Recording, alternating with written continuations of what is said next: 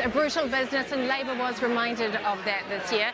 Uh, Carmel Sepuloni and Peeni Henare, it is a tough transition uh, back into opposition, isn't it? But you have had, I suppose, five weeks while the other side been getting their act together to get used to the idea. Yeah, we, we have, and we also know coming into this role uh, that you're not always going to be in government, and opposition's a really important part of our democracy.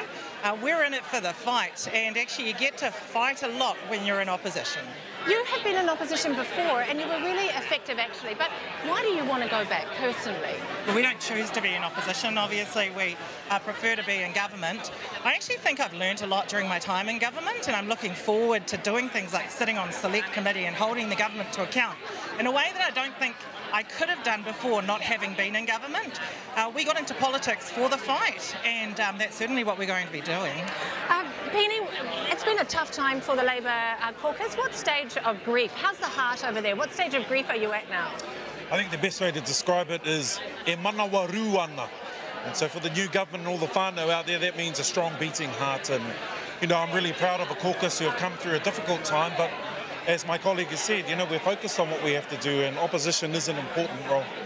What will the summer be like for your party? Because I suppose when you come out of government, there's a, there's a reorganisation that has to happen. But will people be reflecting over the summer, Carmel? Could we see some more resignations next year? Um, certainly be reflecting. I don't think politicians are able to turn their brains off, so I think they'll be thinking about the year ahead. Uh, as for resignations, um, we certainly haven't heard of any more coming our way, and uh, our colleagues are very much focused on what their spokespeople roles are uh, and the work that they're going to be undertaking next year.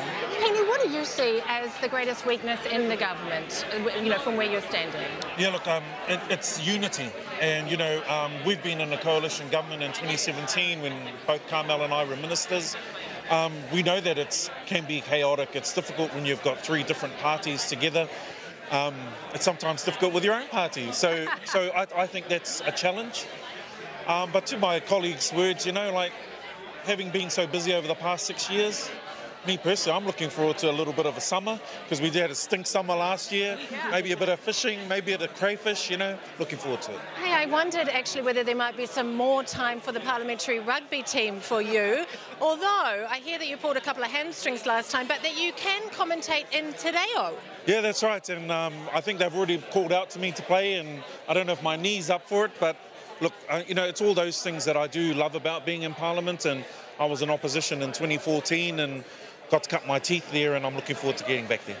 Carmel, um, what is what is your advice, I suppose, to Kiwis who are heading out over the summer who might have OD'd uh, on politics the, this year? Yeah, certainly um, for all New Zealanders, including us, it's just about surrounding yourself with your loved ones, with the people that you may not have had a chance to catch up with over the course of what has been a busy year.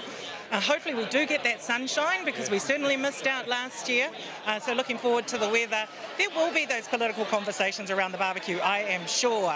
Um, but we all need to know when to kind of cut those off and just talk about the other things that matter, like whānau, our gardens, uh, everyday things outside of politics. Yeah, and I want ask you just to finish, you know, what, what has been your non-political highlight of the year? Um, probably two really quickly. Um, first would be getting my traditional Samoan women's tattoo, the malu, uh, which I had been trying to organise for a number of years, and that happened this year.